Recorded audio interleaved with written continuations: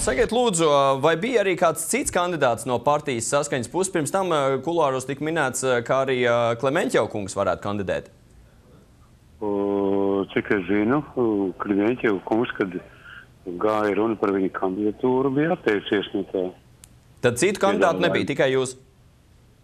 Kādu? Tad citu cilvēku nebija, kas varētu kandidēt, tikai jūs bijāt kā potenciāli. Nu, faktiski tā sanāca. Mm -hmm. Es domāju, ka varēja atrast arī daudz labāku, daudz jaunāku, daudz skaistāku, daudz pievilcīgāku, bet šajā gadījumā tā izvēle krita uzmanību. Uh, jūs pats gribat tādā gadījumā būt prezidents? Zinat, ja man tas gods būs izrādīts neapšaubāmi, es darīšu visu, lai ar godu pildītu šos pienākumus. Uh mhm. Kā jūs vērtējat savus izredzes kļūt vispār par uh, valsts prezidentu? Jo nu, kandidatūras nu, es, es, ir diezgan spēcīgas. Priekšvēlēšana kampaņas laikā darīt visu, lai vēlētāju simpātijas būtu manā pusē. Ko, ko piemēram, jūs varētu darīt? Nu, es ceru, ka es piedalīšos zināmās diskusijās.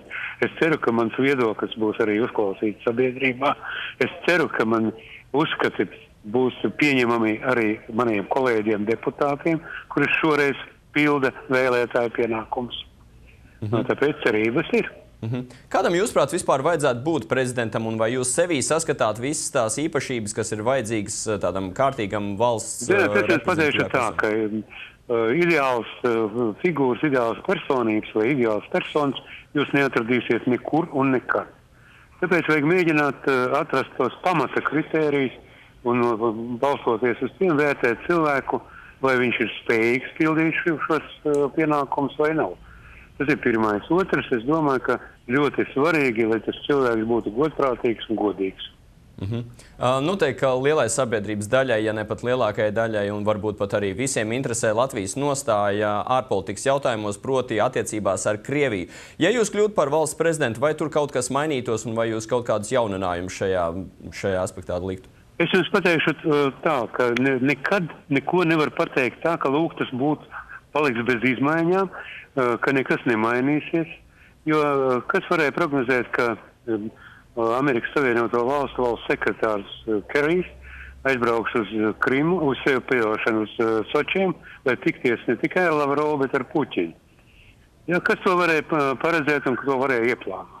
-hmm kas varēja ieplānot un paredzēt, ka kanclere Merķeļa atbrauks uz Krieviju, lai pieminētu kritušos, lai atzīmētu uzvaras dienu un tā tālāk un joprojām. Tāpēc nevar runāt par to, ka nekas uh, nemainīsies, nekas nebūs, uh, kā saka, negrozams un nemainās. Nemainīsies principi, nemainīsies morālās vērtības.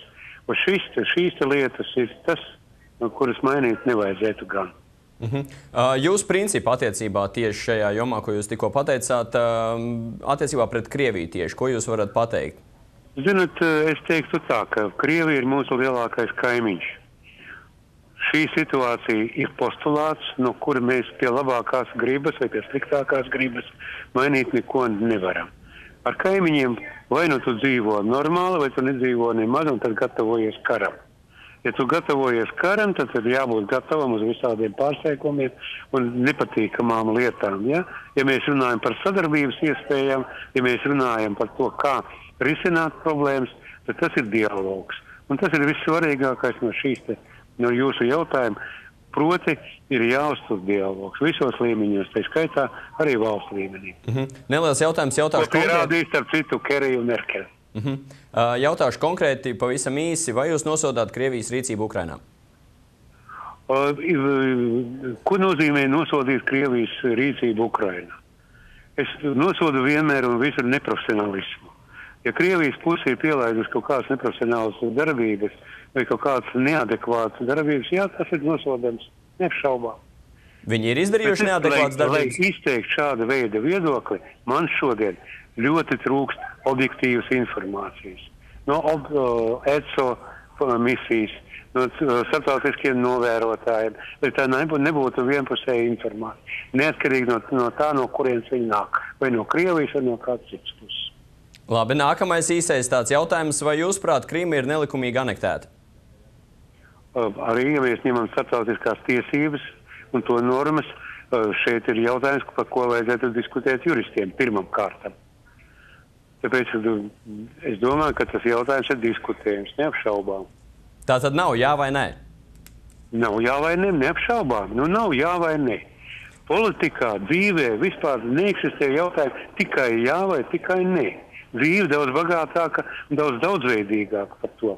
Vienkārši melns vai balts, tīrs vai netīrs, jā vai nē. Tā nemēdz būt dzīvē. Un pēc tā, ko jūs esat eh, lasījis, par, pēc tā, ko jūs zinat, jūsuprāt, Krīma tika anektēta nelikumīgi vai nē? Mēs sāksim atkal diskusijas um, par aneksijām, par inkorporācijām, par referendumiem, par Kosovu un tā tālāk un joprojām. Nu, skaidrs. Labi, paldies jums liels eh, par sarunu. Tikko, tikko sazinājāmies ar eh, partijas saskaņu prezidenta amata kandidātu Sergeju Dolgopolu.